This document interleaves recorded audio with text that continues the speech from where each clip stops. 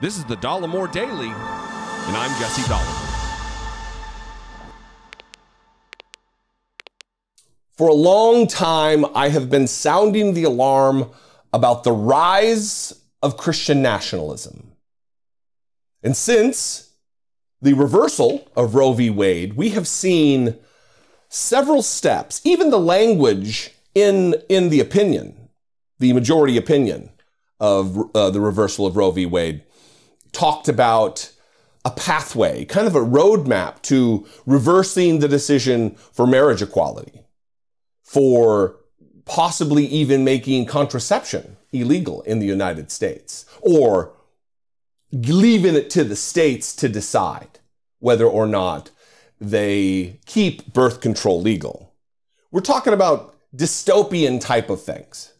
It is a dystopian decision in and of itself that Roe v. Wade was overturned. Without a doubt. And Christian nationalism is the lead cause of this. And because of the overturning of Roe v. Wade, Christian nationalism is now at the forefront of every Republican tongue. It's no longer something that was, it, was a quiet thing. It was almost an embarrassing notion to be called a Christian nationalist. No longer. It is now permeating every political decision or the vast majority of political decisions and policy proposals by Republicans.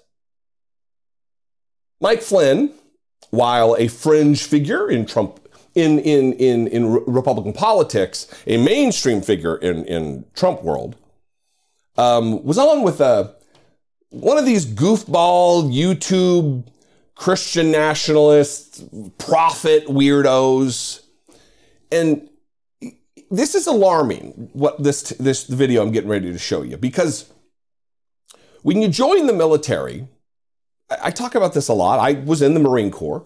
You raise your right hand and you swear to protect and defend the Constitution of these United States against all enemies, foreign and domestic. So I extrapolate this out because it always bothered me when I was a Marine, just a young enlisted Marine that people didn't know anything about the Constitution. A lot of time, even Amy Coney Barrett was stumped by which protections are, are, are, are, are there within the First Amendment redress and free speech and um, religion and the press. It, she, she was oh, stumped. Supreme Court, conservative, Christian nationalist, um, Supreme Court justice. So when a general, retired lieutenant general, is saying things that the Bible created the Constitution, it should send alarm bells off in your head, or at least set them off, send them off. I don't know what that means. Watch this video of Michael Flynn. And I don't know if he's playing a character now or if he is really this unhinged to put these ideas forward because QAnon world, they're, they're eating this up. They are inflamed. Their passions are inflamed. People who are politically uneducated, low information audience who believe whatever conspiracy theory is fed them.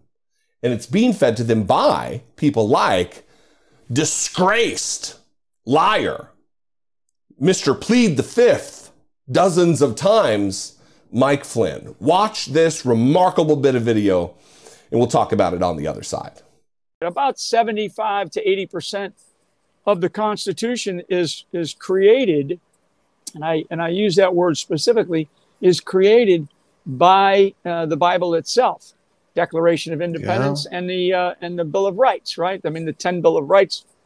Like I say, the the, uh, the the Bill of Rights and the Ten Commandments. Right? The Bill of That's Rights good. and the Ten Commandments are the promises that we make to each other when you really dig in and you and you list and you read the ten, the uh, the Bill of Rights and you list and read the Ten Commandments. Those are promises that we make, and then the fulfillment of those promises, you know, are the Constitution and the and the Bible. That's how we get fulfillment of those promises. That's so good. I I, I kind of have learned that I guess in the last uh, you know, and, and probably the last few years, and I think partially because the more that I have studied our nation and what's happening uh, right now, what I have what I have come to the realization of is that we we in fact were created by uh, this you know the creator right i mean it's mentioned in the uh, God, you know it's mentioned it's mentioned in the declaration of independence right Yeah. um so oh, yeah, it is. Very yeah clearly. big time big time What? Does, does Michael Flynn believe that because there are 10 amendments, the Bill of Rights, the first 10 amendments to the Constitution, that because there's 10 of them and there's 10 commandments, that there's some connection? Because when you go down the line, several of the 10 commandments are about God, they're about uh, holding no other, having no other gods before him, and love, love your. I mean, it just like where the Third Amendment to the Constitution. The Third Amendment is about quartering troops, that you'll never have to um, put troops up in your home if there's a war. Where where's that correlate in the Ten Commandments? Huh? States' rights that i- i- if a power is not specifically granted to the federal government or specifically not granted to the states, it's for the states to have and to possess. Where is that one in the Ten Commandments? I mean, you got thou shalt not lie and kill, steal, bearing false witness. Yeah. But this is an effort to further dumb down the American electorate to further envelop these QAnon ding dongs. Dipshits like Michael Flynn are actively trying to damage America, are trying to weave Christian nationalism into their political rhetoric. We, the Constitution is in no way was created by the Bible. We have prohibitions, protections against this, uh, uh, against the, the, the intertwining of religion and the state. Even Thomas Jefferson wrote to the Baptist, the Danbury Baptists, and said this in a letter. I, the same person who wrote the Declaration of Independence that they, they claim to revere. Oh, it says we're created. It says we're endowed by our Creator with certain unalienable rights. The, the line about the life, liberty, and the pursuit of happiness. I, I, this is dangerous.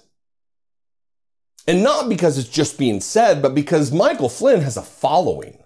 The same man, the same man who advocated for a Myanmar style coup, who wanted Donald Trump desperately to declare martial law to retain power. He is anti American. He is anti democratic. He is dangerous. And it needs to be talked about. Share this video with someone in your life if they're a QAnon ding dong and they follow the dipshit.